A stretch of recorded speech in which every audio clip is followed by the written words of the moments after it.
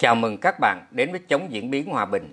Các bạn thân mến, trong 45 năm qua, đại đa số người thuộc chế độ cũ đã hòa bình cùng dân tộc, không ai bị kỳ thị hay ghẻ lạnh.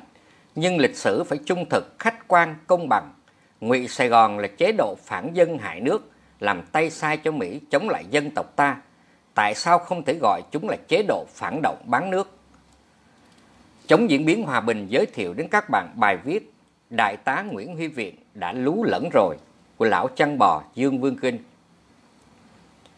Vô tình xem được bài viết của anh về cái gọi là có nên khơi lại nỗi đau chiến tranh.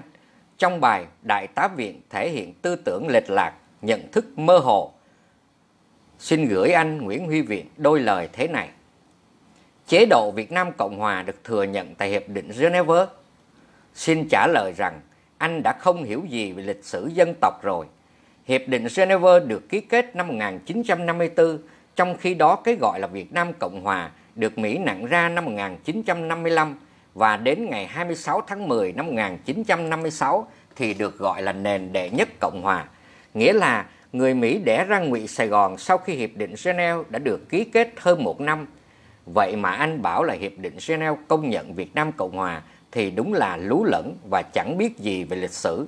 Hơn nữa, Hiệp định Geneva chỉ lấy vĩ tuyến 17 làm danh giới tạm thời, tổng tuyển cử toàn quốc trước 1956, nhưng người Mỹ hiểu nếu làm thế thì 90% dân số khi đó sẽ bầu cho bác Hồ nên xé bỏ hiệp định mà dựng nên chế độ tay sai Ngô Đình Diệm để phục vụ mục đích xâm lược của chúng.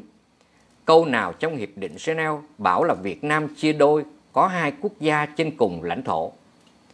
Xúc phạm, hạ nhục đồng bào khi gọi là ngụy anh Viện nói rằng gọi ngụy quân, ngụy quyền là miệt thị là xúc phạm đồng bào, không thể hòa hợp dân tộc. Nói cho anh biết rằng hòa hợp dân tộc có từ lúc mới giải phóng chứ không phải bây giờ mới làm. Chúng ta cho họ cải tạo để trở thành người có ích trở về với dân tộc. Trong 45 năm qua, đại đa số người thuộc chế độ cũ đã hòa mình cùng dân tộc, không ai bị kỳ thị hay ghẻ lạnh. Nhưng lịch sử phải trung thực, khách quan, công bằng ngụy Sài Gòn là chế độ phản dân hại nước, làm tay sai cho Mỹ, chống lại dân tộc ta. Tại sao không thể gọi chúng là chế độ phản động bán nước? Đồng bào ở đây, đừng cố vơ nhân dân Việt Nam vào đây. Chế độ diệm, thiệu phải luôn luôn bị lên án làm bài học sâu sắc cho con cháu để không phải đi vào vết xe đổ của tiền nhân. Nhắc lại để con cháu yêu hơn đất nước này, yêu lịch sử hào hùng của dân tộc, tránh xa những việc hại nước hại dân, bán rẻ tổ quốc như ngụy Sài Gòn.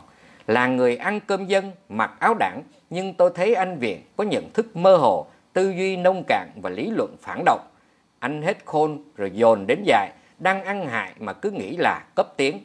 Thứ cho tôi nói thẳng, anh Viện chỉ là phường giá áo túi cơm, lọ rượu bị thịt, không hơn không kém.